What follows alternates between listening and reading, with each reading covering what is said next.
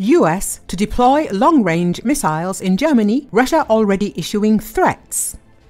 The US will begin deploying long range weapons to Germany in 2026 to strengthen NATO and ensure European defense. This is stated in a joint statement by the two countries. According to representatives of Berlin and Washington, the episodic deployment is preparation for the long term deployment of a number of weapons, including SM 6 missiles, Tomahawk cruise missiles, and in the future, even hypersonic weapons, which have a significantly greater range than current ground based systems in Europe. As Bild writes, US cruise missiles can fly long distances and destroy military targets on enemy territory. These could be command centers, bunkers, and radar installations. Tomahawks are launched from mobile launchers, ships, or submarines. The range of American cruise missiles is up to 2,500 kilometers, which means that in theory, they could even reach Moscow.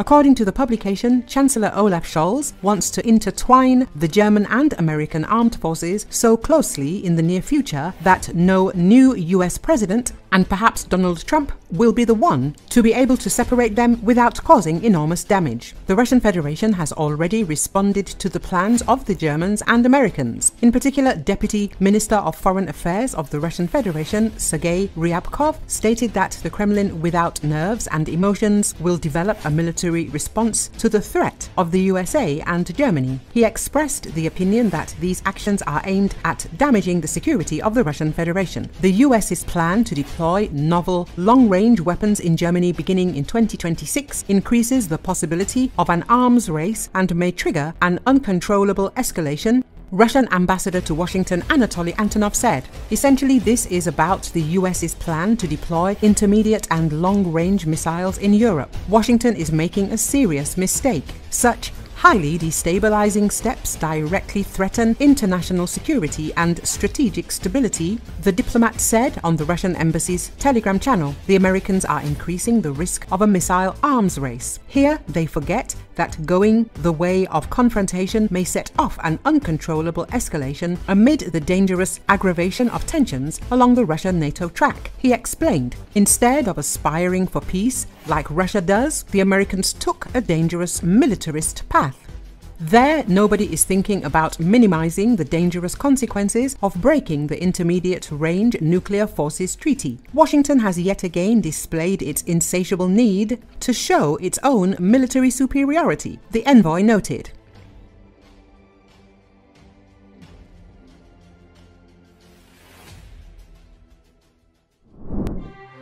NATO countries Denmark and Netherlands have started the transfer of F-16 fighter jets to Ukraine to strengthen Kiev's defenses against Russia, U.S. Secretary of State Antony Blinken said on Wednesday.